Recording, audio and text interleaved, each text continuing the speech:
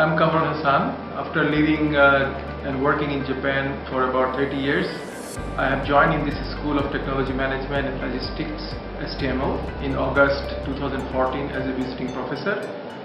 A little more than one year has already been passed and I think I'm getting used to work more comfortably in the new UUM working environment though there remains a gap on the business practices in Japan and Malaysia.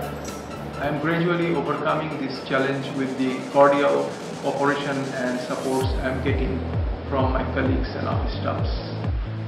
In addition to classroom teaching, currently I am focusing on establishing a few strategic and productive partnerships with Japanese industries and universities in Japan.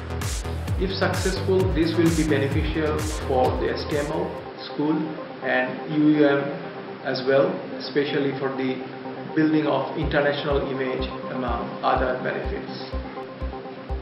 My messages to our students are do not be shy in the classroom. Ask questions to lecturers. Set a higher career goal and go for it. Make attempts with determination even if you fail a couple of times. Keep confidence on yourself and attempt again after making some improvements. I'm sure you will succeed. Here at STML, we all are ready to guide and assist you to become successful in your study and career goal as well. Good luck.